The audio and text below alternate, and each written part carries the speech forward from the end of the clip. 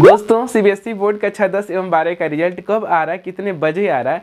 कब जारी हो रहा है? किस दिन जारी हो रहा है? किस डेट को जारी हो रहा है? और रिज़ल्ट किस साइट पे चेक करेंगे? आइए इसी के बारे में इस वीडियो में हम आपसे बात करेंगे और रिज़ल्ट वगैरह चेक करने का पूरी प्रक्रिया, पूरी प्रोसेस, पूरा डेमो आपको देने वाला हूँ। तो चलिए आगे बढ़ते हैं। तो हेलो एंड वेलकम दोस्तों, आप देख रहे हैं एंड्रॉइड जंक्शन यूट्यूब चैनल और मेरा नाम है रूपेश। दोस्तों, आइए चलिए शुरू करते हैं आज की वीडियो।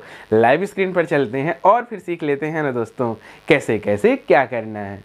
सीबीएसई बोर्ड का छः दस एवं बारह का रिज़ल्ट कब आ रहा है? आई मैं आपको बताता हूँ, चेक करने का पूरा तरीका वगैरह। तो इसके वो चेक करने के लिए सिंपल आपको करना क्या होगा? अपने मोबाइल फ़ोन के सर्च बार में आ जाना किसी भी ब्राउज़र के और सर्च बार में आपको लिखना है C B S E C B S E result. यही दो शब्द लिख के आपको सर्च करना है।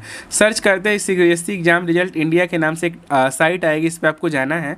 जाने के बाद यह लोडेड होगी और आपको नीचे आना है।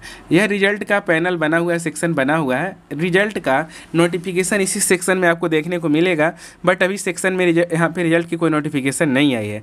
आपको बता दें नोटिफिकेशन इसी सेक्शन में आएगा, कब आएगा रिज़ल्ट कितने बजे आएगा, किस टाइम पे आएगा, अभी मैं आपको बता रहा हूँ। पहले आप तरीका सीख लीजिए डेमो सीख लीजिए रिज़ल्ट कैसे चेक किया जाएगा। और एक बात और आपको बता दूँ रिज़ल्ट आने के पाँच मिनट पहले यहाँ पे नोटिफिकेशन और लिंक दोनों आ जाता है। तो आपको करना क्या जैसे रिज़ल्ट आएगा लिंक पर आपको क्लिक करना लिंक पर क्लिक करने के बाद साइट कुछ इस प्रकार से लोडेड होगी। लोडेड होने के बाद आपको यहाँ पे रोल नंबर भरने का ऑप्शन होगा रोल नंबर भरिएगा स्कूल नंबर भरने का ऑप्शन होगा स्कूल नंबर भरिएगा। एडमिट कार्ड आईडी नंबर भरने का ऑप्शन होगा आईडी नंबर भरिएगा। यह सारा आपके एडमिट कार्ड पे ही होगा। सिक्योरिटी पिन भरने का ऑप्शन होगा। सिक्योरिटी पिन यहाँ पे डालिएगा, जैसे कि one X D U F C और सबमिट कर दीजिएगा। रिज़ल्ट आपका शो हो जाएगा। बट अभी रिज़ल्ट दोस्तों आया नहीं, आपको बता दें रिज़ल्ट आने की अनुमानित तिथि 20 से 25 मई लगाया जा रहा है मीडिया के मुताबिक। 20 से 25 मई के बीच में रिज़ल्ट आने की पूरी पूरी संभावना है। इलेक्शन वगैरह की वजह से थोड़ा सा लेट है कापियों का मूल्यांकन और एग्ज़ाम वगैरह भी थोड़ा सा डिले हुआ है। इसकी वजह से रिज़ल्ट भी थोड़ा सा डिले आ रहा है।